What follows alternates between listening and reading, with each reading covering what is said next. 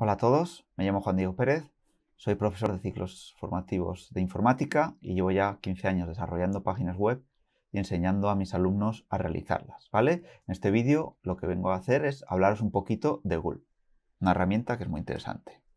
Lo primero de todos, vamos a definir qué es Gulp. Gulp es un task runner o build tool, depende cómo queréis llamarlo, lo llaman de las dos maneras, que me permite, si lo uso para el desarrollo web, automatizar una serie de tareas que yo defino en un fichero.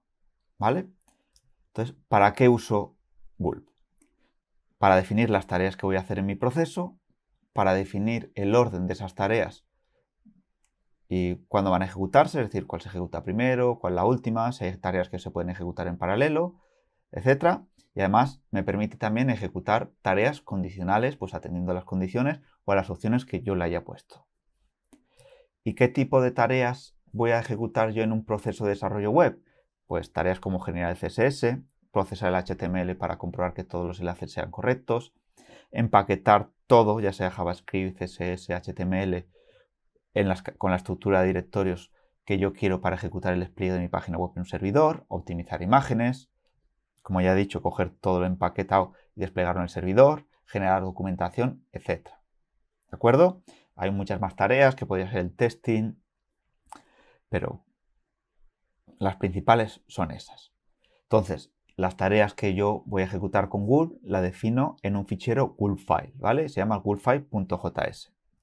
Entonces tengo ahí la pinta que tiene. ¿De acuerdo? Aquí estoy diciendo que voy a usar Gulp y voy a utilizar, pues, eh, paquetes dentro de Google para vigilar, ejecutar en serie, ejecutar en paralelo, el origen y el destino. Y aquí definiría las tareas, que están descritas en JavaScript, ¿vale? La función hola mundo, que esto es un callback, simplemente saco hola por aquí. La función adiós mundo, que saco adiós. Adiós por aquí. Esto, que lo que hago es vigilar los ficheros CSS y ejecutar esta tarea si cambian. Y aquí donde estoy exportando las tareas. ¿De acuerdo? Entonces vamos a ver como órdenes básicas tengo con Gulp. ¿Vale? Gulp me dice que ejecutaría la tarea por defecto. En este caso la tarea por defecto sería hola mundo. Entonces yo voy aquí, ¿vale? La orden básica para ejecutar la tarea por defecto, que era hola mundo, es Gulp. ¿De acuerdo? Aquí sale esto con el número de segundos desde 1970. ¿De acuerdo? También puedo ejecutar tareas por nombre. Aquí adiós mundo, pues me ejecutaría... No, esto no existe, le he dado mal, perdón.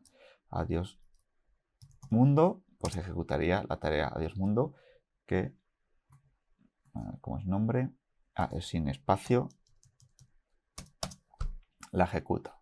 ¿De acuerdo? Y si quiero ver la lista de tareas que yo tengo en mi gulp file, pues gulp menos, menos task me sale cuál tengo.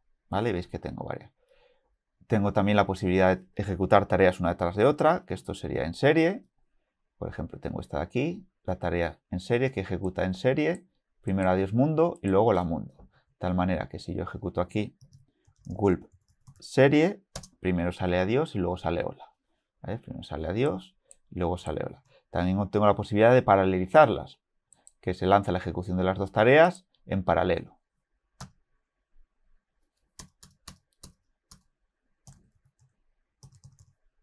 Ahí no sabemos cuál va a salir primero, ¿vale? Entonces, esto. En teoría debería de cambiar en algún momento el orden de ejecución porque la hemos lanzado en paralelo. ¿De acuerdo? Aunque parece que está haciéndolo en serie.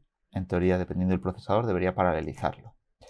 Y también tengo perdón, la opción de watch CSS que llamaría esta de aquí. ¿De acuerdo? Que simplemente si cambiara este fichero se pondría. ¿Vale?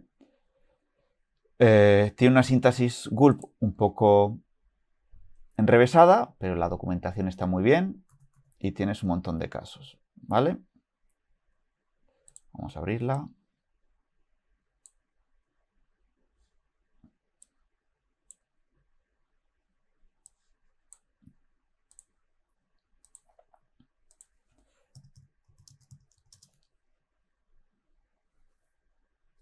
Y lo más interesante es que nosotros, para conseguir todas las tareas de las que habíamos hablado, que son estas de aquí, tareas que va a utilizar en el desarrollo web, pues Gulp tiene un montón de plugins que me permite y me facilita las tareas asociadas, ¿vale? Ahora mismo, pues tenéis